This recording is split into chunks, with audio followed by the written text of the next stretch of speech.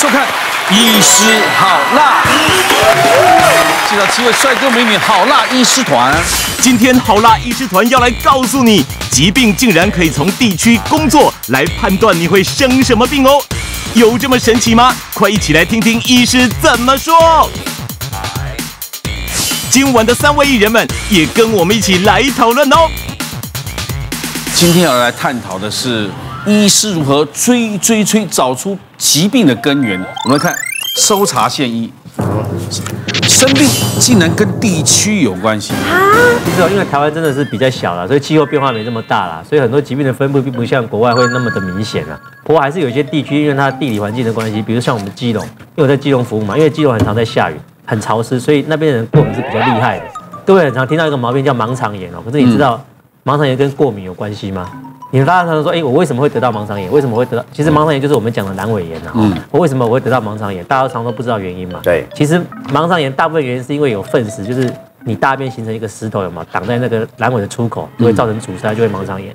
可是还有很大一部分是因为你过敏哦，因为你过敏之后，你那个肚子里面的淋巴腺会变大，变大你很倒霉，刚好在那个盲肠出口的地方有没有变大就会塞住，塞住就会得到盲肠炎。所以在基隆很明显哦，像秋冬交接之际的时候哦。我们平常开盲肠炎一天大概一台两台，可是如果在秋冬交界，就九月、十月、十一现在就已经是秋冬对，差不多盲肠炎的那个那个比例就会很高李。书记、李书公基本上是盲肠炎等丢失。对对对，丢失啊，对啦，所以跟那个橘子一样。哎丢了，所以你肚子痛你就要更小心啦、因为你是盲肠炎的几率就会比较高啊。桃竹苗的客家人很奇怪，就是卫生署有统计过，桃竹苗的客家人啊得到癌症啊活比人家久，啊，不知道。为什么。哎，这个这个我们到现在还不知道为什么，就是不晓得是跟因为客家人的体质，哎，有可能，不然是因为客家人的体质，还是因为桃竹苗的生活习惯怎么样，这我们就不知道。但是客家人不管得到什么癌症，你活得都比一般人久一点，但是仅限于桃竹苗的哦。哎所以如果说你得到癌症，赶快带回去桃竹苗。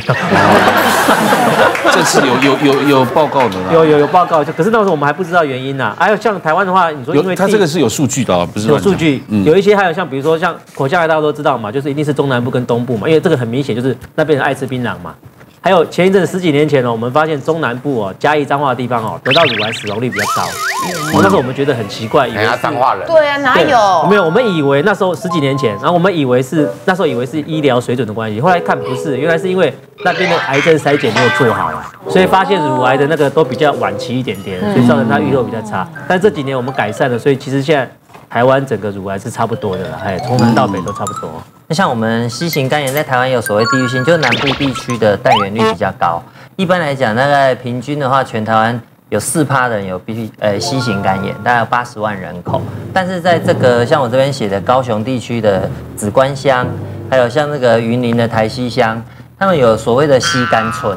大概一整个村子里，可能有五六十趴的人全部都是吸肝，可能的原因就是跟那个以前台这个南部比较有那种打针文化，对，就有那个叫赤脚医生，我、就是说他背一个包包，然后就也挨家挨户帮你打针。他讲的是恰卡森啊，就是他没有，就是所谓没有执照，他就是秘医啊。密医啊，对，就是现在讲的密医，以前是密医密户都很盛行，就跑到家里，来这样。对对，他就是造一个点，然后很多人跟他讲，然后他就去这样子。哦所以这个文化是在高雄、云林可能之前对，因为 C 型肝炎是血液传染嘛，他只要一支针没有消毒，连续打十几二十个人，这全部都中。对，嗯，所以说我们的这种 C 型肝炎呢、在南部地区就比较盛行，比例比较偏高。现在呢？现在还有？现在还是像呃双北地区，就是新北市、台北市，带源率大概是二点五趴。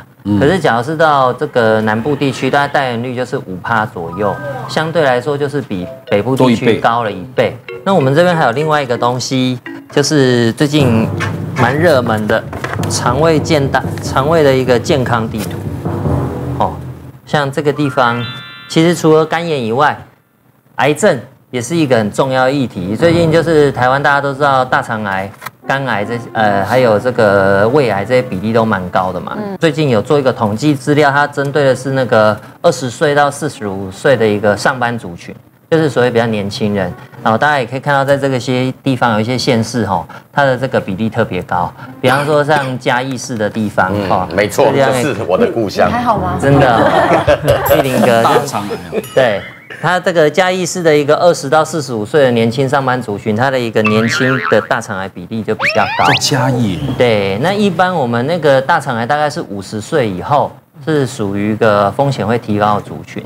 那像这个就是因为是二十到四十五岁，他就对啊，这只是统计数字，是是确定有这种数字嘛？对，但没有去找出为什么会这样。应该跟饮食有关系。对跟有有原因说环境可能跟嘉义人真的重口味是不是？肠胃问题很严重，因为我们小时候哦，好像很少有肠胃好的。后来我归咎原因是怎么样？我我这个年纪的人呢，应该都有共同的经验。像我住的还是嘉义市哦，嗯，啊，小时候然后那个地方叫做湖内里，可是湖内里呢，那个年代呢，自来水不普遍，所以呢，每个家长都有一个独门的决议哦，会在家里面的附近哦，用一个那个压水的东西啊啊啊，那个对，我知道，我知道。打。对水井对，哎，就就就是打水，所以我们喝的水呢，抽井水啊，啊，井水是一种，好，那我们那个是直接把把那个金属的东西呢，就插进那个地底下，嗯，好，然后一根棍子出来，这样子压，对。好，然后然后水就会流出来，嗯。嗯，所以我们也是拿这个这个所谓的地下水啊来煮菜啊，然后然后来喝这样子。我印象中哦，因为人家不是都说啊，人健不健康看他大便的形状就知道，是。可是我记忆中大便没有形状啊，因为我们都喝地下水嘛，就那可能因为这样子肠胃就不好，所以拉出来都是稀稀的。然后另外一个一个后遗症是什么？就肚子里面的寄生虫很多，所以我们小时候经常有一个阿伯哦，骑脚踏车，然后一停下来以后呢，开始折气球，哦，哎，噗，然后啪啪啪啪啪开始在那边折，噗，然后呢一下子贵宾狗，一下子马，好，然后小朋友就会团团围住嘛，因为好奇嘛。结果他在干嘛？就跟有人卖蛇胆就卖蛇胆，他偏偏要躺在钉床一样，他这个都是招揽客人的一种方法。他就呢开始卖驱虫药，冰糖油啊，嗯啊，驱虫药。所以我们那时候小时候是那个粪便一排出来哈，感觉会有几几几几根那这个头在那边钻动对，。会长长的，真的有虫吗！真的有，而且有那真的虫个阿北阿北会有很多照片给你看，然后给你比对，然后看什么是哪一种烤油啊什么之类的。小婷婷，你的嘉义人啊？因为我我是彰化人，然后以前呀脏话呀不是，然后你以前在夜市也会有这种摊位，然后就是真的是折气球，然后专门买油啊回去给阿公阿妈或爸爸妈妈自己给你掏，给你夹，给你掏。嗯，他真的要是吃完以后，那个那个虫的尸体会会排出来。对，就是大，对了我我这种年代有吃过了，啊，就吃过那种桃糖的对油啊，那个真的会有虫跑出来。对你你如果大胆一点的话，你看到那个粪便当中露出一个头，你把它抓起来，对不对哎？哎，那个一只一真的一只长长的，跟蚯蚓一样，只是颜色比较偏黄这样。对对对对比较瘦。然后就拿去钓鱼一样。有那么多家里，是啊，我们这个数据是一定有它的数据的，只是说要研究它为什么这那个区块那么会得大肠我。想这些地方就是像刚刚玉云哥讲的，可能就是跟一些它地区性特殊的饮食习惯，哦，或者说那边的一些地下水源啊，或相关的东西都会有一点影响。那你看，除了这些地方，你看，你看像这个南投县。哦，还有苗栗县，他们的幽门杆菌的比例都会比较高。对呀，好奇怪，我就有幽之前就有幽门杆菌。对，像幽门杆菌是因为它大部分是是饮食跟水分哦，里面遭受了一个幽门杆菌的细菌污染，你要吃下去，也就是所谓的一种粪口传染。可是我们感染的人粪便里有细菌，就像刚刚玉颖哥讲，排便里面都是有细菌，然后你又像像以前台南滨海地区那个年代啊，很很很悲惨啊，因为他们地下水都含有那个砷。哦，所以呢，很多人就得乌角病。乌角病对我们去参观那个博物馆哦，那是真的很悲惨的事情。那整整根脚膝盖下发黑的，截肢了对啊，然后还要截肢这样。原因是你有幽门感觉。我没有，但是我父母都有。因为像乡下的地方，像嗯很多人，我们都是自己种菜自己吃，所以有时候会用自己化粪池的那个大呃大便拿去当那个肥料。啊对对，那就会这样子。那就有机肥料啊。可是里面有很多的寄生虫啊，有很多的病菌啊，对啊，就如果菜没有洗干净，然后又又刚好不小心是生吃的话，那就很容易感染啊。对或是你手去摸到，然后你没有洗手就带进去啦我。小时候因为爷爷爷奶奶家里是务农的嘛，那你上厕所一个是两个木板的嘛，啊对对但是为什么大到里面它全部就摇起来，然后 沾到那个种菜的，肥料，对，对啊，你撒上去上面还有虫这样，对。对不对？啊，的菜菜上面还会咬几个洞，就表示它没有农药的。那更好。代表健康。还好那个年代没有手机，要把那个掉下去哦，不要了，它是整个都是粪坑。对。对，然后像我在读幼稚园的时候，呃，不管你有没有被感染，我们是全部都要吃寄生虫药，然后大家一人一张报纸，然后在那个大广场，然后上大号这样子。对，老师。上大号，对，然后我们就一直蹲在那边说，老师我们上不出来。男的女的一起上对大，就小朋友幼稚园啊，所以没有对，因为他们他们就是他们就原住民的那个寄生虫的率比较高嘛，然后那时候医疗不发达，对，然后像其实那时候还有很多的那种外面的医生都不知道哪里来的，然后他们就要做研究，他们还会拿我们的牙齿模型啊、血啊去做研究，然后都没有经过我们的同意。而且医生不会哪里来啊，又不是外星人，他们还那会给医院派来的。他们还会给我们，但是他们会给我们糖果。而且我们在头发是在最近这几年才没有，以前还要女生还要贴头发丝，对有对，对三跟五是那个狮子，是这个头丝，对。我第一次去呃都市的小学读书的时候，只有我班上只有我我一个原住民，那有点像歧视，但是我还被带到保健室从头检查。对。哦，对。你你那个原住民的有什么什么病比较哦，我们原住民的部落就是最常见的就是痛风。那是因为喝太多酒，对不对？哦，啤酒是这样子是没有吃呃是没有错，因为我们真的是喝酒喝的蛮凶的，但是呢 后来什么叫也是喝这蛮凶？他们酿的根本来不及卖就喝掉了。对啊，你们真的是把它当水喝哎。对，我觉得这也是一个很多很多的那种社会问原住民的社会问题，也是从这里面出来的。对啊，像其实我小时候喜我自己偷偷喜欢的第一个男生呐、他喝前前几个礼拜喝酒喝死掉了。啊，对，哦，那还好，你当时没有嫁给他。不是啊，嫁给嫁给他，因为他会照顾他，也不会死啊。哦，那但是呢，后来呢，又是有一群医生来，然后也是没有经过同意，也是抽血做了他们的遗传检查，就发现我们原住民。本来就是遗传呃遗传基因上是比较容易有呃就是尿酸沉淀，然后比较容易有痛风。像我住在南投县信义乡，我们如果要出去都市，一定要经过一个城小城市叫做水里，那里面的药局啊，那个痛风的药都包好一桶一桶的，你知道吗？真的哦、真的真的，所以很多人痛风。对，很多人痛风，我哥哥跟我爸都痛风。那你我哥哥十几岁就痛风。那你你为什么没有？年轻你为什么没有？我我不喜欢喝酒，因为而且很奇怪，我看到有痛风比较好发于男生哦。对男生对男生本来就比女生多。那我自己是因为我看到的很多负面的状况，就从小就是呃父母亲喝酒喝到没有办法自理，也没有办法照顾小孩子的状况，所以我并不是很赞成喝酒这件事情。可是我会不会喝？我会啊。呃，如果气氛很好的时候，我是会喝一点，但是我是不会想要就是我们喝光光那种那种文化这只是。只仅限于南投的原住民，还是说别的就是从？台湾，应该从北到南都是这样，都是这样子哦对，就痛风很多，而且很就是我们只是去药局拿药，那都不会去治疗。其实你知道那个我们在急性期的话，秋水仙素止痛药，它只是给你止痛哦，它没有帮你把尿酸代谢出来。哦所以呢，我上次回去就看到一个阿伯，我就说，哎，好久不见，想握他的手。他说，哎呀，不要握，不要握也不。用真的握，还两只手，还两只手。他就说：“哎呀，不要问啦，我的手上都是钻石，等一下会跟你手握紧紧，卡不出，卡伸不出来，因为他手上都是痛风石痛风石。就我在往他的脚上看，他光脚，因为那个他的脚就是变形，因为痛风石的关系，干干脆就不穿鞋。那你为什么不跟他讲要去治疗？好有啊？我跟他讲啊，但是嗯那治得好吗？到那样到那样有点已经，到这个程没有办法，度就没办已经提成法痛风石了，对那个没有办法，就没办法吃那个它也不会消，对不会消不会消。对，但是像这样的病人就是要注意，就是说是折磨吗？对啊，而且这样的病人通常肾功能就有问题。那你在痛风又发作的时候，很多止痛药对肾功能又不好所以就是一个恶性循环这样。来再补充一下，我们除了这个南头，刚刚南投县和苗栗县是油门杆菌比较高。那在这个东部地区的话，像这个基隆市 北部就就是那个江医师职业的基隆市大大肠息肉、胃食道逆流是最多的。不过这个是我们再讲一次，它这个是二十到四十五岁的上班族，所以其实这个在这个基隆有有市的这些上班查明什么原因吗？是不是因为很简单，大肠息肉原则上都是一个饮食和生活习惯，它本身的基因要累积一定的突变，它才会跨过一个突变的门槛就长息肉。那这些突变怎么来的？就是你日积月累，比方说你抽烟啊，你爱吃高油脂的食物或油炸品多，那你纤维质吃的不够。这些状况容易造成大肠黏膜的细胞的突变增加，那可能就变成你就早发。嗯，那宜兰县的这个地方，大家可以看到年轻的胃癌还有便秘的发哇生哦。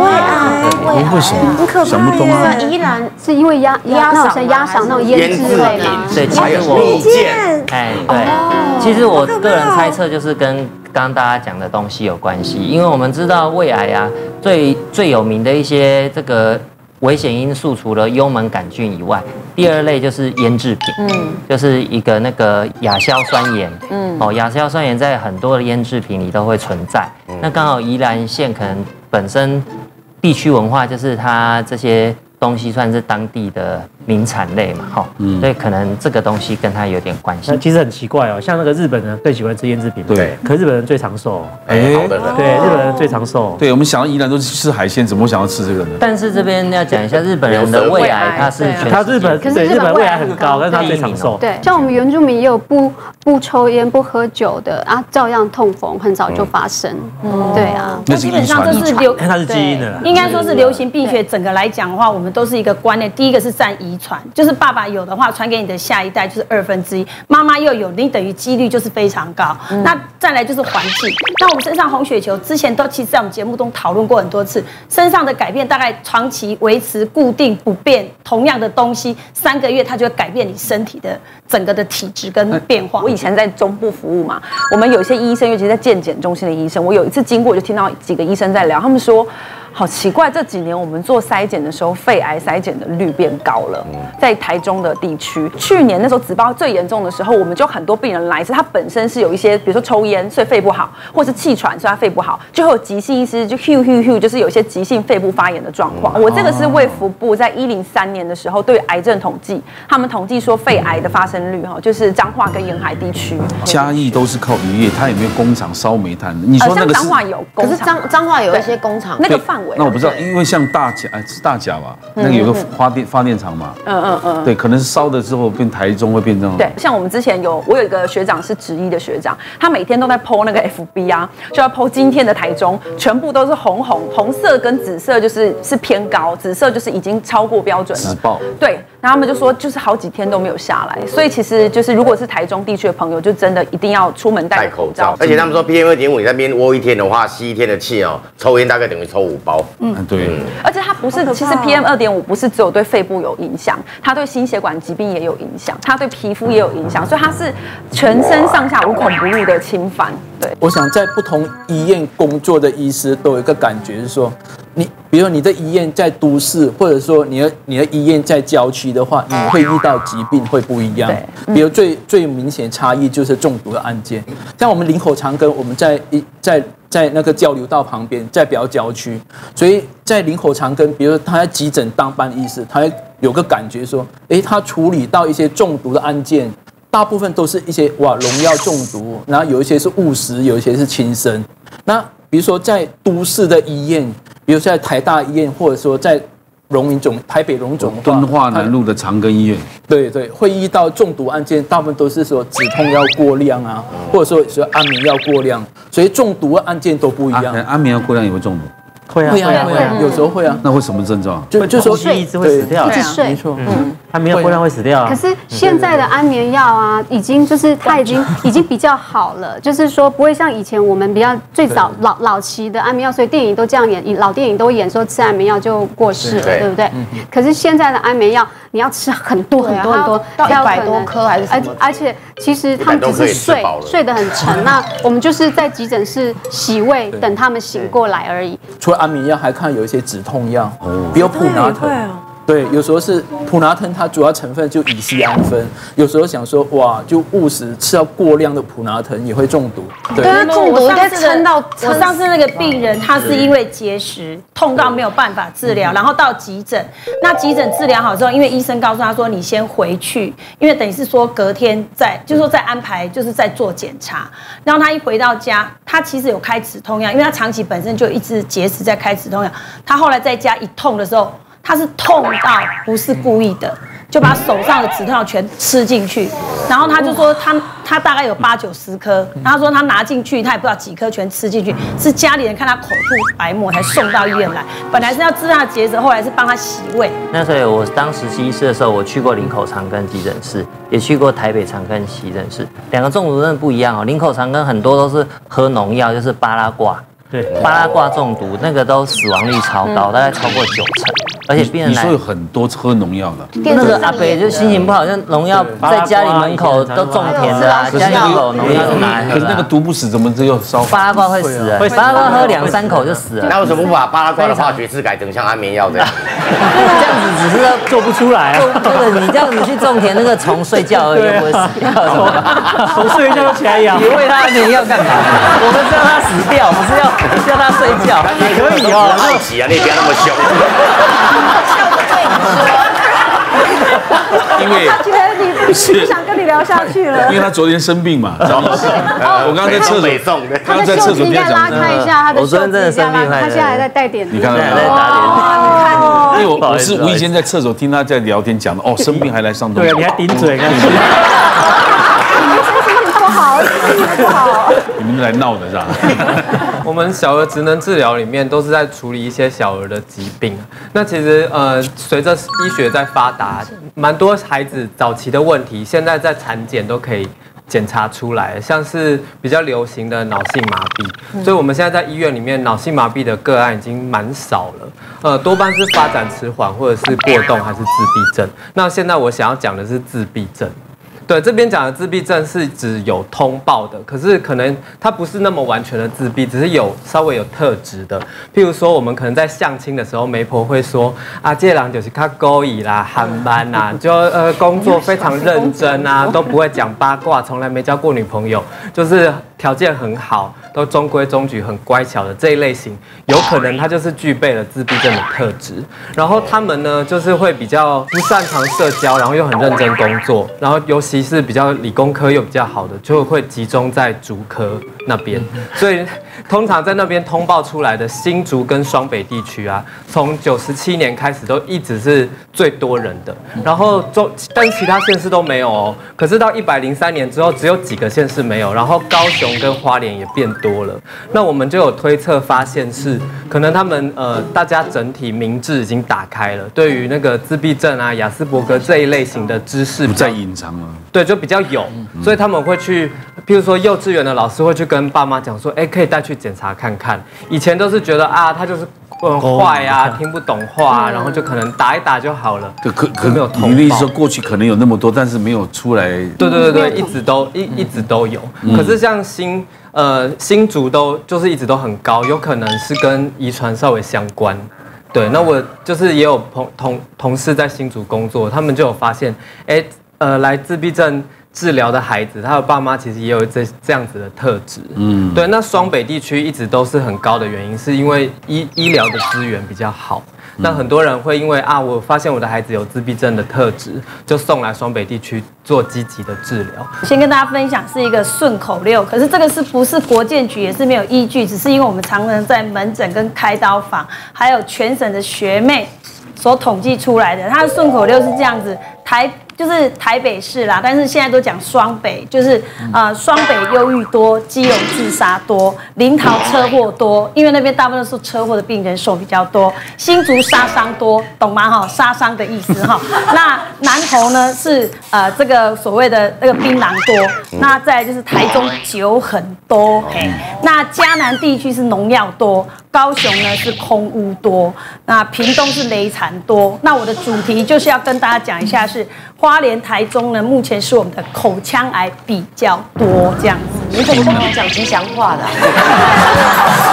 就是那个那个一种来宝，对啊，我一直期待说你要冒出一个什么，对，就财富多，或者是孩子多，台湾人都是钱很多，对，无所谓，没有，因为我刚很多人就这样统计出来，然后就讲出这样子。那为什么会讲说他这边有可能也是地区性的问题？那我有一个病人呢，他是之前他刚好是来到我们基隆，他原本是住这个花莲那个地方，然后就到台那个基隆来亲戚家住，然后嘴角就长了一颗这么大一颗，然后呢，家人就跟他说，哎、我们你来了都那么远趟路来，我带你去看门诊啊，去看一下到底怎么会。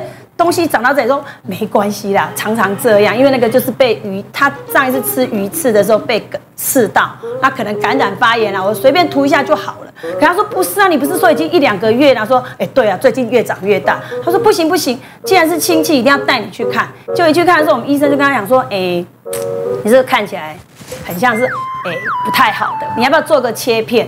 那当天我们就帮他做个切片，做完切片我们就跟他说，因为我们现在有一种叫快速，因为我们很怀疑就会快速三十分钟就出来。果然报告出来就是真的是口腔癌，而且是第三到四期这样。那我们觉得还是有值得拼的机会，那我们就跟他说你要不要做切除？他一听马上说哦好，我回去商量一下，人就不见了，嗯，就不见了。后来我们想说，那是不是可能他又去找别的医院啊做检查？结果隔了快一个多月，他又回来了。他是自己来，我说，哎，上次不是有写亲戚嘛？因为我们都会病历上面写嘛，他是住啊花莲，然后来到这里，结果原来就是他说去花莲那个地方，他告诉他那个癌症啊，要赶快切，赶快的。他本来也是我们医院爱开刀，嗯，哎，哪有人一来就叫我开，然后就跟我说所以他去求证骗我是不好的，他去求证就对对，然后他去求证，可是因为呃，这又强调一下，就是当年当年这个台东花莲，我到现在其实都一样，他们医疗真的比较缺乏。那现在我们医院也都有去支援了，所以我们的整形科就过去那边支援。那在他没有支援之前，他那时候是没有的，所以他因为要补一个皮瓣，因为你知道那个口腔癌开掉，整个骨头消掉，然后这边是没有，是缺损，从饮食到外观是受影响的，所以他就不愿意。那因为那个医生还蛮好，跟他转介说，那你就到呃有可以做皮瓣的。那我们医院是有这方面的功能，所以他就来来的时候，我们就帮他做，做好之后是可以吞咽、可以吃，是还不错。结果呢，他就是本来误以为我们就是那种你知道吗？说哎，你那虽然的给我亏的，都搞骗癌症，你的是爱情啊，你们就是爱这样。其实实际上很多医生第一眼看到不对，告诉你马上要开，不见得真的是爱开刀。嗯，那刚刚有讲到说我们基隆什么自杀多。我们在今年终于洗刷了啦哈，就是忧郁的城市。但是在这之前，我们都被那个只要有忧郁啊、自杀都讲我们因为基隆太容易下雨了，对，啊，因为出门下雨人就忧郁这样。对，那没有阳光照上那个这个这个阳光的转换啊，那个身体的快乐激素没有办法转换，所以我们的这个就容易忧郁。那我曾经遇到的是一个病人，他进来，他是割腕嘛，那割腕就帮他边缝，我说阿贝，你都七八十岁了，你还割腕，你不要这样讲。我告诉你，我当年我可是杀老毛的，然后一直讲，我说对啊，那你干嘛杀自己？我生气，我说你生气什么？我我七天大便大不出来，我气死了。哦，然后我就说，是不是这几天下雨？你看下雨会让一个一个那种威风凛凛的军人，你知道吗？就为了一个大便解不出来就自杀。后来我们跟他说，你看你不要自杀，我帮你转到那个直肠科或肠胃科，让你吃个软便剂，噗就出来了。你干嘛自杀？下次不要自杀，你是军人哦，还要这样跟他要安慰他人不能改变天气，但可以改变心境啊。对，没错，而且像年轻人多夸张，你知道吗？他自杀女生，原因是什么？基隆下雨。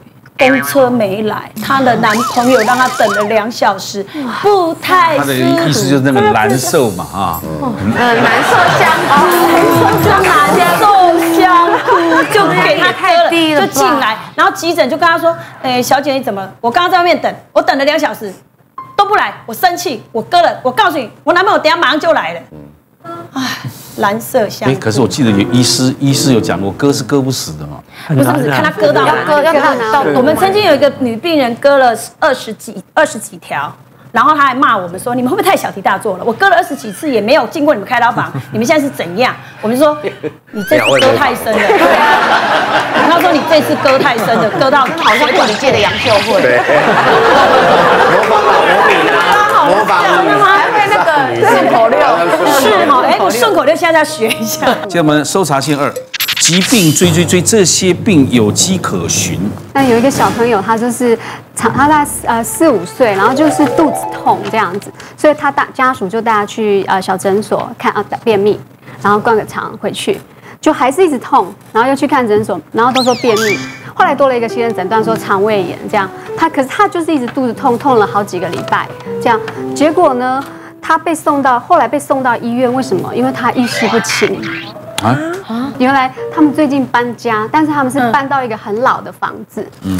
哦，闹鬼，我们虽然是搬新家，但是那是旧房子，很老旧的房子，油漆都没有换过，油漆。啊，油漆没有换过会？对，就旧房，很老旧的房子。对，油漆没换过会产生这个病为什么会这样？啊？坏，铅中毒不。是，它都没有上油漆，怎么会铅中毒？你说粉刷之后会铅中呃毒？以前的油会有以前的油漆都会色色素的有原料，古老老旧的油漆挥发是里面的铅含你说那个量非常旧房子的漆如对果都还没有换，它有可能会还在那边啊，对。旧的跟新的，可是因为现在新的有环保跟标准的关系，现在已经降低，可是那个是老旧，所以我刚所以这样看完不是电视，大家把那个旧房子的油漆要重新再粉刷。一定要对，这很重要。在哦，这个上了一课。在国外，如果说你带小朋友去呃看医生，医生回去一定叮咛你哦，有没有坐安全座椅，小朋友不能趴睡，然后有没有二氧一氧化碳的侦测器，还有你们家的油漆是多久以前的？哎，但是还有另一个哦，其实之前有一个做新北市的调查，很多的水管在旧的水管，它其实里头是水中会验出铅。新闻倒是有听过。对，但是那个一样啊，你一样是吃进身体里头，所以小朋友也会造成一些那个前几天还有那个装潢的新闻啊，就是装潢然后油漆，好即便现在还是很多人说住久了以后开始头晕目眩啊，嗯对啊怀疑自己得脑瘤啊，去检查也没有啊，然后后来谁解答他？公投说你们家那油漆是不是有问题？哎，真的去去查看一下，果然是用到那个劣劣质的油漆，或者是或者是有些那个木板的东西哈，那表面的涂漆也会有问题。之对，之之前也有听过一个案例是这样，他其实是个艺人，然后工作非常努力，然后终于好不容易存了一笔钱，在大陆买了一栋房子，想说全家的人就住进里头，以从此颐养天年。就隔了两年，这个艺人就得了癌症就走了。然后后来说那一个社区的房子，就是才被人家爆出来，里头就是含有甲醛。那甲醛本来就是可能会致癌的物质，所以就很可惜啊。你看他工作一辈子辛辛苦苦，很开心的买到一栋房子，就想买一个温暖的家，没想到成为他的坟场。哎不过这个毒物科，严严医师可以讲一下。我我想说，当刚大家讨论到讨论到一些油漆中里面有有没有铅，其实哦，因为我们油漆中为什么会有铅呢？因为铅本来就是色素的来源，所以你看各种颜色，诶，如果说诶老板用到话就要对，比如红色、橘色、黄色色，如如果说业者老板用到诶铅来当颜料。油漆中就有铅。现在我们的油漆，市面上油漆哦，有有一些是在室内的油漆，有一些在户外的油漆。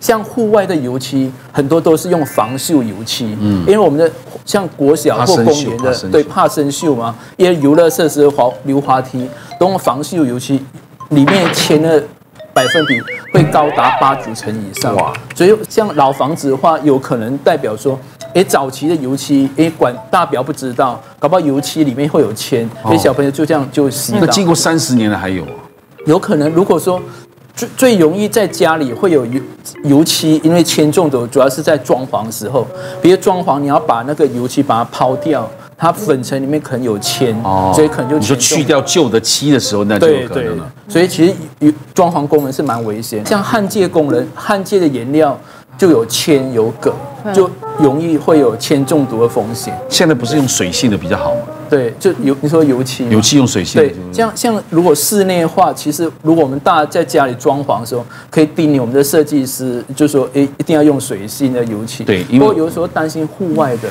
对，因为水性啊，水性刷上去没有那么对对比较碎呀。那油性的东西很漂亮，可是问题油性就是会怕的。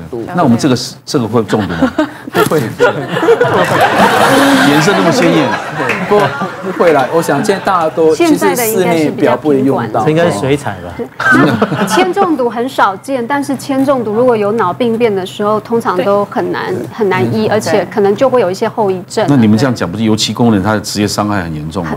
所以很要小心，要保护所以他自己。一定要求他们戴，可是他们自己就不懂得防护。对，嗯，像像我们医院的家庭医学科医师，他们有时候去工厂就院外做一些劳工体检，他们都会帮一些民众验血铅浓度。嗯，所以我们现在就是说，成人的话，目前认为说血铅浓度不能超过十，孩童的话不能超过五，他用这个标准来帮忙民众在一些劳工在把关。嗯不过这个观念在我们台湾不普遍。像我女儿那时候在波士顿的时候，她要进去幼稚园的时候，他们都要叫你交体检报告，里面就有铅浓度。嗯对，在美国那边几乎是固定在，因为波士顿很多旧房子，嗯，所以他们都会想说你是不是有住到那个，如果你的小孩子铅中毒的话，他马上去检查你的家。我记得在我们印象最深刻，在五年前，我我们在林口长庚有个晚上，就说有有一个晚上，有一个大概二十岁出头一个小男生，一个外劳，对他被他同乡把他送到我们林口长庚的急诊，所以那个外劳的话，因为他也不会讲台语，也不会讲国语，英文也不会讲，他只是同乡把他送来，他就一直说他肚子痛。就是摸着他肚子说肚子痛，所以说那那时候我们急诊的医师帮他做了很多检查，包括什么抽血啊、验尿啊、X 光片、电脑断层、大肠镜、胃镜，全部都做完，哎，可是都没有结果。然后那个急诊的医师他 call 我，召会我是在两天后的事情，对，两天后他们开 call 我。后后来我我去看他病历，哎，其实我们在林口长庚，其实我们可以帮病人做很多检查，嗯所有跟在长庚跟肚子痛有关检查都被那个小男生都做完了，可是还是肚子痛，大家都不知道原因。后后来我看，哎，其实急诊有个住院医师，他最聪明。其实那个外劳啊，年轻人他不不会讲我们的话，国语啊、台语、英文都不会讲，他就用肢体语言来问他那个外劳那个男生说：“你做什么工作？”哎，他就说，哎，用肢体语言来告诉他说，他在彰化一个违规工厂来做铅定时的回收，所以这样子答案才出来。哎，那时候急诊医师就帮他验那个血液中铅，那时候是一百三，哇，那个是因为我们都说正常人不能超过十，那一百三是已经超过十倍，对，那时候急诊的医师赶快 call 我。然后我我我就赶快 call 那个林强教授，我们在讨论，而且我们都觉得，哎，那个那个那个数字是我们看过最高的，在林口长面看过一百三十，所以那时候就赶快诊断出来后，就给他打解毒剂，用两种解毒剂，后来哎那个那个男生就不痛了。其实铅中毒话很难诊断，可是它很容易治疗。嗯嗯嗯，就说因为铅中毒。铅化中毒的症状都多元化的，哎，有些人就是肚子痛来表现食欲不振，有些人就是过动而注意力不集中，甚至自闭症，或或者说手脚发抖、走路。你说铅中毒会有这个症状？对对，也会啊，怎么那么极端？要不然就不讲，要不然就拼命动。会啊，都神经对，没错。那你这样怎么铅化会有大脑神经毒性，就是因为这样很难诊断啊。一般你抽血根本不会去测这个啊。更加可怕，有些时候会藏在我们的骨头里，它的它的一个半衰期到是超过三十年以上嘛，是非常久的。没错，三十。三十对，它半衰期相当长，还可以活三十年。那我们不能日常保健吞服什么东西可以解铅毒的？那那不行，就说因为那个铅。那铅中毒的解毒剂，我们叫螯合剂。对，所以螯合剂的话，我们可以口口服，也可以注射。不过螯合剂一般都很贵，而且是处方药。然后医生的话也是一样的，就说如果病人没有铅中毒的话，我们不会开给他。我们不能吃预防吗？不，不行啊，那不能。如果没有中毒，不需要吃一点，那不行。